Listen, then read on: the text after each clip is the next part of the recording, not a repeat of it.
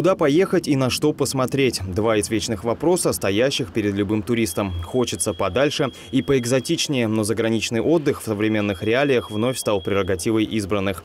Даже относительно доступная и популярная у россиян Турция в этом году прибавила в цене. Средний чек на одного человека к июлю 24 составил почти 250 тысяч рублей. На этом фоне все выгоднее смотрится внутренний туризм. Иллюзий не строим, импорта заместить турецкие или даже черноморские пляжи нам не под силу. Соревноваться с Москвой или Питером тоже дело неблагодарное, но свой турист у города Семи Ветров все же существует. Наглядно и в цифрах. В прошлом году Ульяновскую область посетила больше 700 тысяч человек, а объем платных услуг в индустрии туризма и гостеприимства составил свыше 5 миллиардов рублей. Топ регионов, которые приезжают в Ульяновск, это на первом месте Самара. Самара – это 240 тысяч человек, которые сюда приезжают, ежегодно тратят здесь порядка полутора миллиардов рублей. Безусловно, это Казань, Санкт-Петербург, Э, Москва, вообще регионы с тем, кем у нас налажено прямое авиасообщение, плюс регионы, которые в радиусе до 350 километров. Нижние, Чебоксары, Мариэл, э, Саранск, Пенза, ну и другие регионы первом квартале текущего года наш регион посетили почти 165 тысяч туристов. По сравнению с аналогичным периодом прошлого года турпоток вырос на 60%. Жаркое лето подогрело интерес, и наш регион не упускает эту возможность. Упор делаем на географическое положение и транспортную доступность. Маршрутная сеть расширяется, добраться до Ульяновска проще с каждым годом. Выросло количество прямых рейсов. В 2024 в аэропорт Баратаевка без пересадок можно долететь из Москвы, Санкт-Петербурга, Новосибирска, Екатеринбурга, Минеральных вод, Сочи, Махачкалы и Калининграда. А ведь есть еще визитная карточка всех городов Поволжья. Волга, Великая река, торговый путь и транспортный коридор. В наши дни ко всему вышеперечисленному добавляется еще одна функция – туристическая. Гости Ульяновска говорят, в вашем городе Волга как море. На самолете быстро, на поезде дешево и безопасно, по волнам красиво и с новыми впечатлениями. Ульяновский речной порт в прошлом году принял рекордные для себя за последние 20 лет 140 40 круизных судов. Это больше 30 тысяч туристов, посетивших, например, ульяновские музеи, бары, рестораны и достопримечательности, а значит, оставивших деньги в экономике области. В этом году между Ульяновском, Казанью, Чебоксарами и Нижним Новгородом на регулярной основе начали ходить «Метеоры» – судно на подводных крыльях. Путь на них из Ульяновска в Нижний занимает 12 часов. Это чуть дольше, чем на поезде и чуть-чуть дороже. Зато взору пассажиров из окна открываются волжские просторы.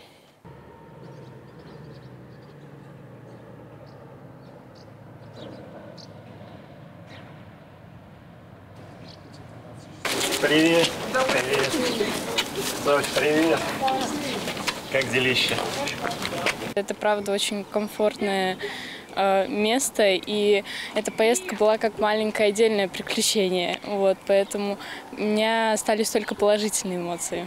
Если бы еще раз пришлось выбирать поезд или метеор, да, что бы выбрала? Метеор. В Ульяновск добрались. Следующий вопрос – на что посмотреть? Чем наш регион может привлечь туриста? Первое, что приходит на ум – Ульяновск – родина Ленина. И это до сих пор так. Ульяновск – то место, где Ленин жил, жив и будет жить. С именем вождя связано многое. Музеи, красные туристические маршруты, экскурсионные программы. Но не Лениным единым живет сегодня ульяновский туризм. Ленин всегда с нами. Мы никогда его не забывали, никогда не забудем. Это наша история. И это то, чем наш регион гордится. Безусловно, такая огромная личность, мы э, э, вот этот факт не должны использовать, не должны не использовать. Да? Этот факт обязательно во всех программах, а он имеет место быть. У нас есть программа, которая предусматривает посвящение в пионеры, у нас большое количество людей приезжает в рамках культурно-познавательного тура, которые хотят посмотреть, где жил Владимир Ильич Ленин, где жила его семья, где он учился, где он за какой партой сидел, чем он писал, да, какими, э, ну, какой был быт гимназиста. Да, поэтому вот эта вся история, она очень актуальна по сей день. Есть запрос обязательно на это есть. Но здесь не надо перегибать палку. Понятно, что не надо концентрироваться только на этой теме, а ее можно просто диверсифицировать. Туроператоры отмечают, что за последние несколько лет состав туристов претерпел существенные изменения изменения. В регион приезжает больше молодежи и больше семей с детьми. Игнорировать этот факт индустрия развлечений не может. Эпоха сменилась, мы активно ищем новые смыслы и новые формы. Взять хотя бы музеи, коих в нашем городе тоже немало. Под открытое небо навстречу жителям города и туристам вышел открывшийся в начале июля музей «Наличники». Пройти мимо просто не получится. Здесь собраны экспонаты со всех уголков региона. Самым старинным более 100 лет. Собрана самая большая коллекция в России такого формата. Музей будет функционировать э, в теплое время года, до конца сентября примерно. А на зимний период как бы мы его уберем в связи с погодными условиями да, на временное хранение. Но опять же в следующем году планируем снова выставить экспозицию, но, скорее всего, уже в другой локации. Будем искать э, что-то в городе, чтобы как можно больше жителей и гостей региона смогли увидеть наш музей. В дополнение к классическим и неклассическим музеям туризм эко, агро и гастро. Тренд этого года – туризм событийный. По итогам 2023-го региональные событийные мероприятия посетило порядка 100 тысяч человек, и около четверти из них – это гости из других регионов страны. Благодаря поддержке нацпроекта «Туризм и индустрия гостеприимства» гостеприимства в этом сезоне ульяновцев и гостей региона ждет около 30 массовых и масштабных культурных мероприятий.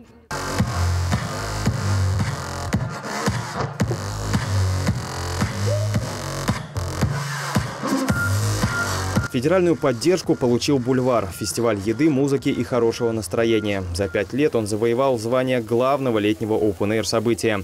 Юбилейный фестиваль сменил локацию, переехал в туристический центр города и отлично вписался в переулок Карамзина.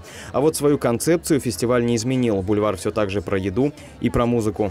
Гастросоставляющую фестиваля представляли 17 заведений, не только ульяновские, но и приезжие из Казани, Самары, Москвы и Ижевска. В основном стритфуд – бургеры, хот-доги, шаурма, гонконгские вафли.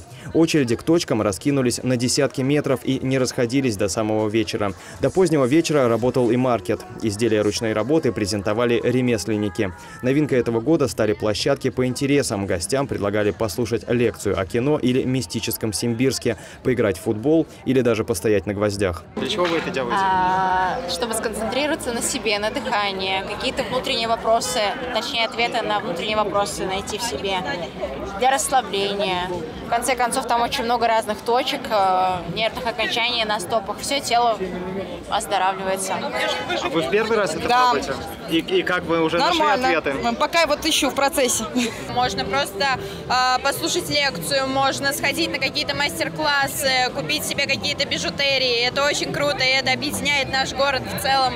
Э, и я рада тому, что такие мероприятия вообще проходят в нашем городе, и хотелось бы как можно чаще это видеть. Мы с детьми прекрасно провели этот день, повеселились, мастер-классы просто замечательные. Вот дочь довольна, уже ей нарисовали рисунок, теперь я теперь ее тоже, чтобы были одинаковые. Приглашаем гостей и отдыхаем сами. Инфраструктура индустрии развлечений должна работать не только на туристов, не быть обременительной для региональной казны. Этот подход общий для всего Поволжья. Еще один объединяющий тренд – развитие сети кемпингов и глэмпингов, природного туризма, спортивной индустрии и строительство благоустроенных пляжей и бассейнов. Свой клиент у такого комплекса будет обязательно. Клиент не бедный. А ведь одна из задач развития отрасли – получение доходов в казну. В 2024 году пять ульяновских предпринимателей получат 93 миллиона федеральных рублей в рамках нацпроекта «Туризм и индустрия гостеприимства» на строительство модульных туристических объектов. Предприниматели должны вложить в проект не менее 50% собственных средств. Что касается планов на следующий год, их в агентстве по туризму строят, исходя из запросов года текущего. Сейчас в связи с э, Э, ежегодной проблемы отсутствия обустроенных пляжей и цветением э, Волги уже начиная с июня месяца огромный запрос у жителей, у гостей на э, хорошие, качественные места отдыха у воды. Поэтому здесь обустройство пляжных зон на берегах рек, озер а, или в местах, где, по крайней мере, вода не цветет, где проточная вода, да, а, значит, строительство бассейнов открытых, подогреваемых, неподогреваемых, летних, различных, да, Собственно, вот это вот э, есть такой действительно запрос, и мы понимаем, что э, большее количество нужно обустроить мест для отдыха для горожан. В прошлом году обустроили три таких места. Э, одно, связ... Два места было обустроено в значит, э, Ивановском заливе и одно место на э, Заволжском пляже. И в следующем году, я думаю, мы этот тренд продолжим, будем наращивать количество мест для отдыха у воды, чтобы это было комфортное и безопасное место отдыха.